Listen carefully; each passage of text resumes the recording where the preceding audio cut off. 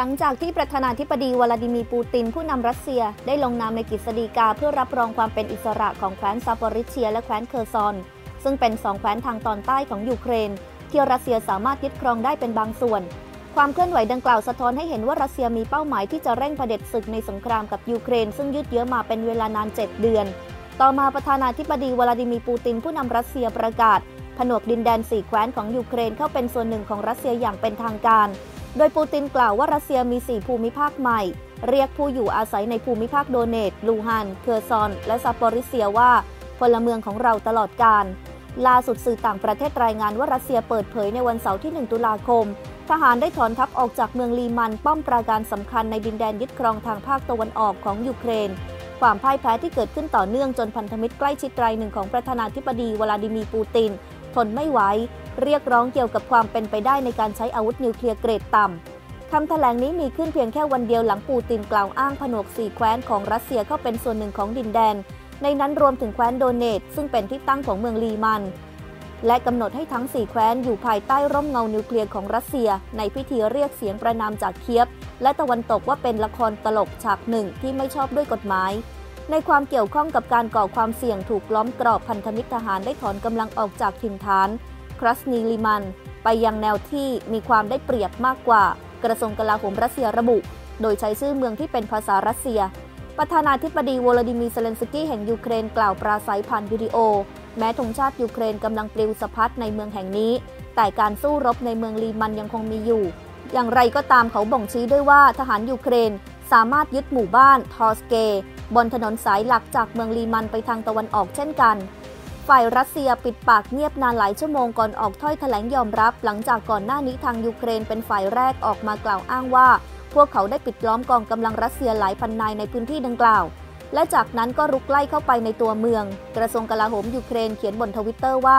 ทหารรัสเซียเกือบทุกนายในลีมัน ถ้าไม่ถูกจับกุมหรือไม่ก็ถูกสังหาร รัสเซียใช้เมืองลีมันในฐานะศูนย์กลางทางโลจิสติก และการขนส่งสำหรับปฏิบัติการต่างๆ ในทางภาคเหนือของแคว้นโดเนต การทวงคืนเมืองแห่งนี้จะกลายเป็นการรุกคืบในสมรภูมิครั้งใหญ่ที่สุดของยูเครน นับตั้งแต่เปิดปฏิบัติการโจมตีตอบโต้ในแคว้นคาคีฟทางภาคตะวันออกเฉียงเหนือของประเทศ เมื่อเดือนที่แล้ว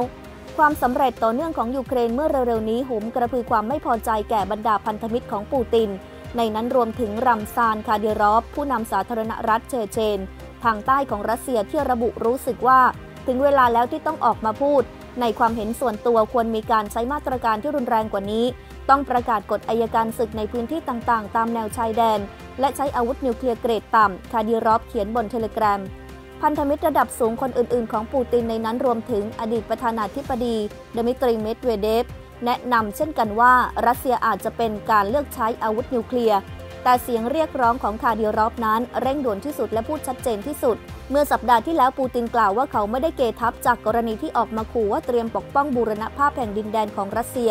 ด้วยทุกหนทางที่มี และได้แสดงจุดยืนอย่างชัดเจนว่า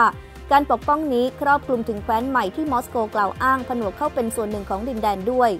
วอชิงตันระบุว่าจะตอบโต้อย่างเด็ดเดี่ยวต่อการใช้อาวุธนิวเคลียร์ใดๆ และเตือนมอสโกเกี่ยวกับผลลัพธ์หายนะที่พวกเขาจะต้องเผชิญ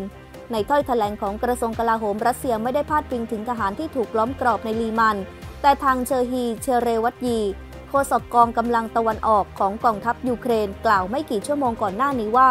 กลุ่มทหารรัสเซียในพื้นที่ลีมันถูกล้อมกรอบ เขาบอกว่ารัสเซียมีกำลังพลในลีมัน 5,000 ถึง 5,500 นาย แต่จำนวนที่ถูกปิดล้อมอาจต่ำกว่านั้น ก่อนต่อมาจะยืนยันว่าทหารยูเครนได้บุกเข้าไปในเมืองแล้ว ทหารยูเครนสองนายเอาธงชาติสีเหลืองน้ำเงินติดที่ป้ายข้อความยินดีต้อนรับสู่ลีมัน บริเวณทางเข้าเมืองในวิดีโอที่โพสต์โดยหัวหน้าคณะทำงานของประธานาธิบดีเซเลนสกี้ โดยทหารนายหนึ่งกล่าวขึ้นว่า วันที่ 1 ตุลาคม เราคลี่ธงชาติของเราและกางมันบนดินแดนของเรา ลีมันจะเป็นของยูเครน อย่างไรก็ตามรอยเตอร์ไม่ยืนยันว่าเหตุการณ์ในคลิปเป็นเรื่องจริงหรือไม่ คาดิรอฟบอกว่าพลเอกอาวุโสอเล็กซานเดอร์ลาปิน ผู้บัญชาการที่ดูแลเมืองลีมันดีไม่พอควรถูกยึดเหรียญแล้วส่งไปยังแนวหน้า นอกจากนี้คาดิรอฟเผยด้วยว่าเขาเคยเตือนนายพล วาเลรีเกราซิมอฟ เสนาธิการใหญ่กองทัพรัสเซียเกี่ยวกับเค้าลาง แห่งหายนะล่วงหน้าแล้วด้วย นายพลรับประกันกับผมว่าเขาไม่สงสัยในพรสวรรค์ของลาปินสำหรับความเป็นผู้นำและไม่คิดว่าการถอยร่นจะเป็นไปได้ ยูเครนบอกว่าการยึดเมืองแห่งนี้จะเปิดทางให้เคียฟรุกคืบเข้าสู่แคว้นลูฮัน ซึ่งถูกรัสเซียยึดครองอย่างเบ็ดเสร็จเด็ดขาดในช่วงต้นเดือนกรกฎาคมลีมันมีความสำคัญเพราะว่ามันคือก้าวย่างถัดไปในการมุ่งสู่การปลดปล่อยภูมิภาคดอนบาสยูเครน มันคือโอกาสรุกคืบเพิ่มเติม สู่เครมินา และซีวิโรโดเนต และมันมีความสำคัญมากในด้านจิตวิทยา โฆษกกองกำลังตะวันออกของกองทัพยูเครนระบุ แคว้นโดเนตและแคว้นลูฮัน ซึ่งรวมกันเป็นภูมิภาคดอนบาสเป็นจุดสนใจหลักของรัสเซีย ไม่นานหลังจากเริ่มปฏิบัติการรุกรานยูเครนในวันที่ 24 กุมภาพันธ์ ในสิ่งที่พวกเขาเรียกว่าเป็นปฏิบัติการพิเศษด้านการทหารเพื่อปลดอาวุธชาติเพื่อนบ้าน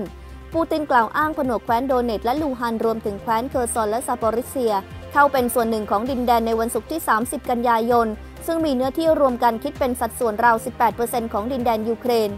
ยูเครนและพันธมิตรตะวันตกตราหน้าความเคลื่อนไหวของรัสเซียว่าไม่ชอบด้วยกฎหมาย เคียฟประกาศปลดปล่อยดินแดนทั้งหมดจากกองกำลังรัสเซีย และบอกว่าจะไม่เจรจาสันติภาพใดๆกับมอสโก ในระหว่างที่ปูตินยังคงเป็นประธานาธิบดีมิคาโลโปโดยักที่ปรึกษาของเซเลนสกี้เย้ยหยันพิธีผนวกดินแดนของเครมลินเมื่อวันศุกร์ที่ 30 กันยายนว่า ตอนนี้ทหารรัสเซียกำลังออกจากเมืองยุทธศาสตร์อีกแห่ง และพวกนักโฆษณาชวนเชื่อกำลังถูกตามล่าในฐานะผู้ร้าย ความเป็นจริงสามารถทำร้ายคุณได้ หากคุณมัวหลงอยู่ในโลกแห่งจินตนาการเบนฮอตนายพลปลดเกษียณของสหรัฐแสดงความคิดเห็นว่าความพ่ายแพ้ของรัสเซียในลีมัน จะทำลายขวัญและกำลังใจของทหารมอสโกมากยิ่งขึ้นไปอีก และเป็นความอับอายทางการเมืองและทางทหารครั้งใหญ่ของปูติน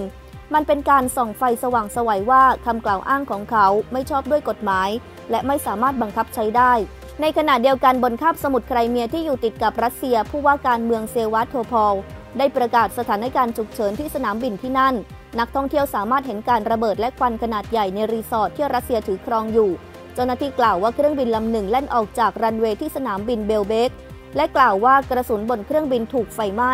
ทางการยูเครนกล่าวหาว่ากองกำลังรัสเซียตั้งเป้าโจมตีขบวนรถเพื่อมนุษยธรรมสองขบวน ในช่วงไม่กี่วันที่ผ่านมา ส่งผลให้พลเรือนเสียชีวิตหลายสิบคน